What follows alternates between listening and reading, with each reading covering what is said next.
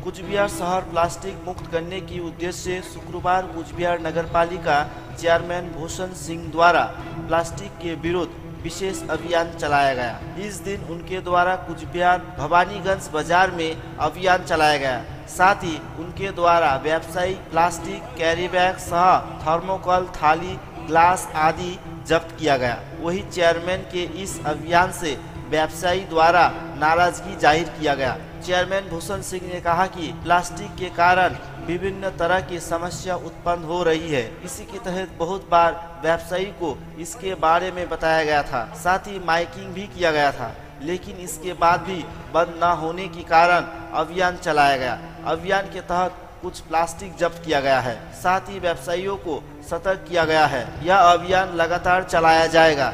इसके बाद spot fining की व्यवस्था भी किया जाएगा আমার ইয়ে ছিল যে সমস্ত আবর্জনা কুচবিহার শহর থেকে মুক্ত করা প্লাস্টিক মুক্ত করা এবং যেগুলো ফুটপাথ দখল আছে সেগুলো মুক্ত করা সারা বিশ্বে আজকে প্লাস্টিকের নিয়ে সারা বিশ্বে আজকে একটা পরিবর্তন চলে আসছে আজকে গ্লোবাল ওয়ার্মিং এর একটা প্রথম পর্যায়ে হচ্ছে প্লাস্টিক এই প্লাস্টিক যদি বন্ধ না করা যায় তা আগামী দিনে মানুষ আমরা তো বেঁচে যাব কিছু পয়সার জন্য আমরা ব্যবসা করি কিন্তু আগামী প্রজন্ম, আমাদের পরের প্রজন্ম বিকলাঙ্গ হয়ে জন্মগ্রহণ করবে। জল পাওয়া যাবে না। মানে সিজন আমাদের তো অলরেডি চেঞ্জ হয়ে গেছে। এখনও যদি মানুষ বুঝতে না শেখে, তাহলে আগের দিন ভয় ভয় আসছে, কিছু পয়সার জন্য ওরা ব্যবসা করছে। ব্যবসা করার অনেক পদ্ধতি আছে, অনেক জায়গায় এখন আমাদের প্লাস্টিক, অনেক শহরেই প্লাস্টিক টোটাল মানে একদম বয়কট করা। ইভেন কি সারা ভারতবর্ষে এরকম একটা অভিনব প্লাস্টিক বর্জনের একটা যখন পদ্ধতি চলছে, আমাদের কুচবিহার মার্কেটে অনেক বলা সত্ত্বেও, আমি কুচবিহার মার্কেটে আমি ব্যবসায়ীদের মিটিং এসেছি, অনেক সম্বর্ধনা এসেছিলাম। আমি বারবারই এদের একটা বার্তা দিয়েছিলাম যে, প্লাস্টিকটা বয়কট করুন, প্লাস্টিকটা বয়কট করুন। কিন্তু এরা কানে কোনোভাবে দিচ্ছে না। বাধ্যতামূলক আজকে আমরা অভিযানে নামছি। আজকে একটা বার্তা দিয়ে গেলাম, আজকে আমি এই আমাদের বাজারে। আগামী দিনে যারা প্লাস্টিকের কাজ করছে এবং প্লাস্টিকে যারা ব্যবসা করছে, তাদের ব্যবসার বাজার পরিবর্তন করে বাঁচবার পথ যাতে ভালো মতো নেয় মানে প্লাস্টিক মানে বর্জন না করার যে এদের পদ্ধতি, এই জিনিসটা আমরা মেনে নিতে পারছি না। আজকে সারা শহর, সারা ভারতবর্ষ আজকে প্লাস্টিক বর্জনের দিকে আগাচ্ছে।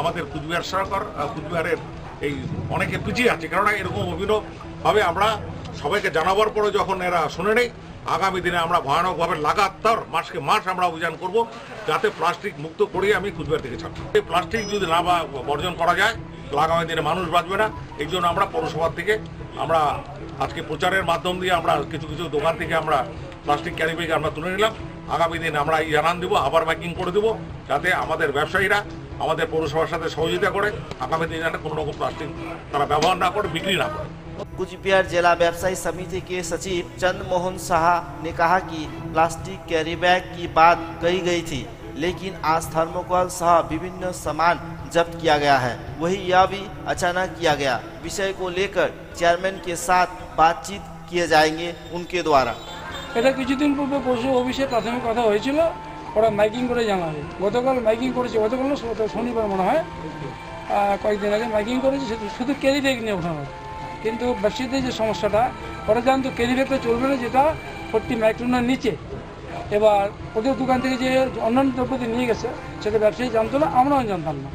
এই রিসেন্ট আজকেই চেয়ারম্যানের সঙ্গে কথা হলো এই মাত্র যে তোমাদের ক্যাম্পিংয়ে তো ছিল শুধু ক্যারি ব্যাগ তো অন্যান্য যে মালগুলো নিয়ে গেলো, ব্যবসায়ী ক্ষতি হয়ে গেলো, এটা জানানো উচিত ছিল। বললেন, ওটা জানানো হয়েছে। আর জানানো হয়নি, কোনো ব্যবসায়ী জানে না, জানে রাখতো না। বলে ঠিক আছে আমি এটা শিডিউল করে আমি জানিয়ে দিচ্ছি। হঠাৎ করে এই অভিযান কতটা সমস্যায় পড়েছিল তো ব্যবসায়ীর সমস্যা পড়ে আছে। ওরা জানতো না যে ক্যারি ব্যাগ ছাড়া অন্য অন্য জিনিস ওদের নিয়ে যাবে। জানলে ওরা নিশ্চয়ই রাখতো না বা ওটা নিয়ে আলোচনা করতো। সেখানে পর্যাপ্ত আলোচনার প্রয়োজন আছে।